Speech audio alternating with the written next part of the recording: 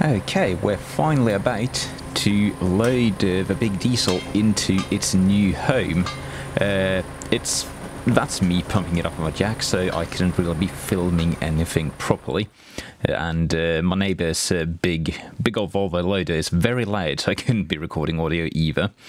Uh, so the plan we had was to just sort of uh, get the diesel on the loader somehow. We hadn't really made any plans.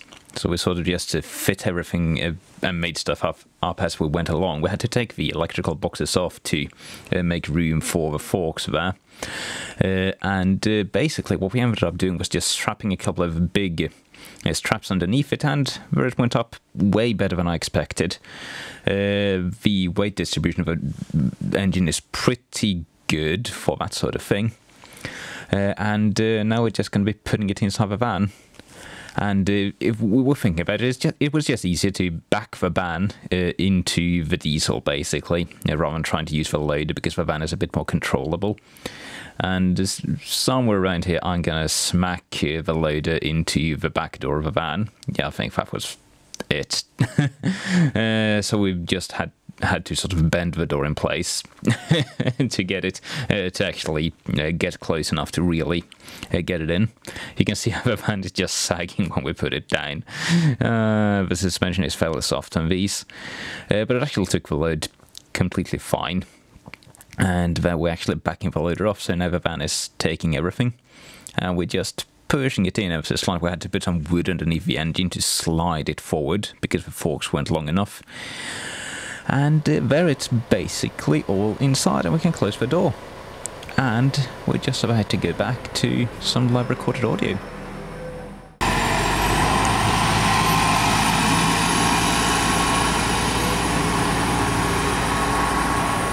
Ha, that one the loader. And now the diesel has a new home. Wow, it's a battery running out of this thing. Look at that. That is absolutely beautiful. So we didn't really have time to get it perfectly in there because it got pretty dark. But we have it in place. The door's closed.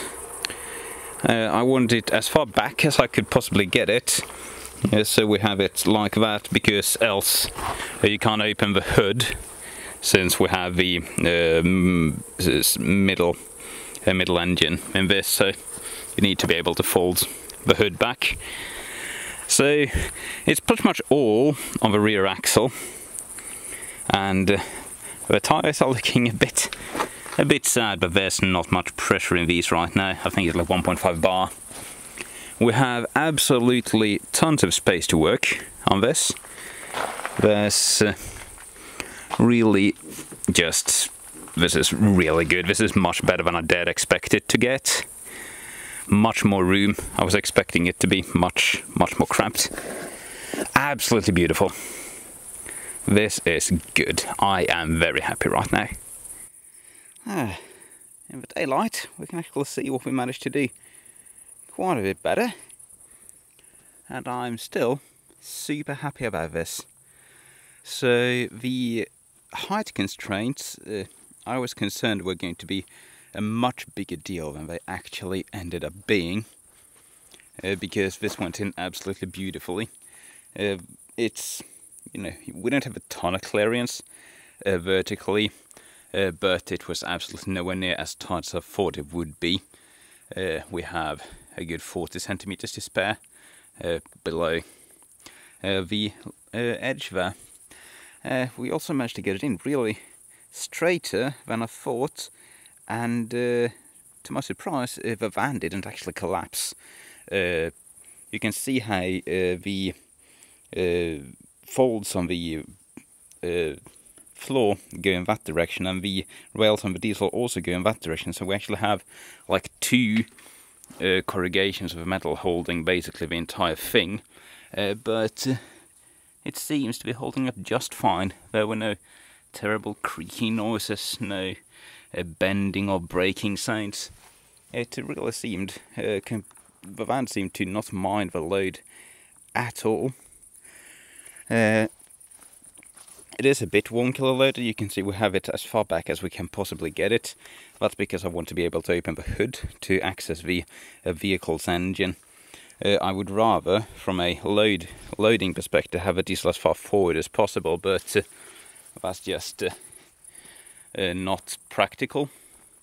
So we have it just with a few centimeters of space between there uh, which does put the, these little bendy bits at a pretty, pretty good spot actually. You can see you can get them through the window if, if I remind the gauges or per main to like an actual electrical box then there needs to be like an automation box still added to this for it to work well.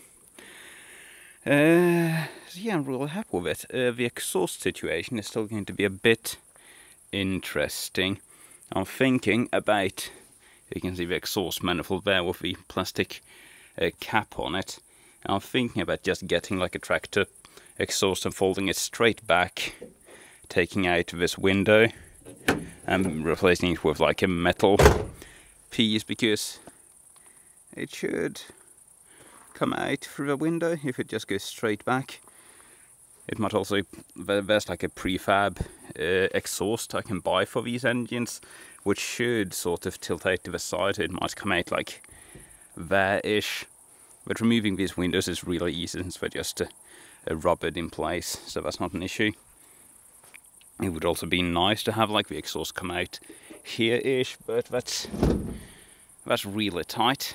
And this is uh, a load-bearing section of a vehicle. I, I didn't want to cut that because it makes the van softer. And with this amount of permanent load, you can see this is with a, a three kilos of pressure in the tyres. There. This thing is pretty heavily loaded. We still do have some uh, slack in the springs. We are. We are not riding the bump stops. Not that you can see much, but we're not riding the bump stops. Only almost. There, there is suspension. not much to go on. So we still want to keep things. We don't want to sacrifice uh, structural stability on the van, and we don't want to add more weight than we have to. Well, not in the back anyway. The front can take basically an infinite amount. and now, like we have three kilos or 3.5 in the back and like two kilos in the front, and these are barely even compressed. Like it's riding with a real uh, backwards lean. But overall, this is absolutely better than I did expect. You can comfortably drive it. You can do everything. Oh, yeah, and I haven't even commented. Uh, I have done a really bad job of just lining this with thin aluminium uh, plate, the roof and the walls, the doors, just to remove uh, plastic and there's a bit of insulation behind that to dampen the sound of the engine because I want this thing to be reasonably quiet while it's running. How well that's going to work is another question. I am also of course going to have to cut some kind of ventilation holes or plumb this into an external radiator or something because uh, this is going to get really hot if we just run it uh, like this in an enclosed space so that's but needs to be sorted, it also needs to be bolted down somehow. I haven't really thought too hard about how to actually do that. I'm thinking about just drilling some holes next to it and wrapping some steel around with some uh, reinforcements on the bottom of the van, but uh, we'll see what uh, happens with that. Uh, I might just get lazy and reuse a couple of these to strap it down. It's not like this thing is to go uh, doing rallycross and it, it's it's a heavy piece of equipment. It's not to slide around, but you really don't want this thing. you don't want to emergency brake and sli- have this thing sliding into your back because that's yeah you're gonna go, you're you're just gonna get stuck. That's this thing is lined up perfectly to just crush you. But yeah, not bad at all. I am I'm super stoked. This went so much better than I thought.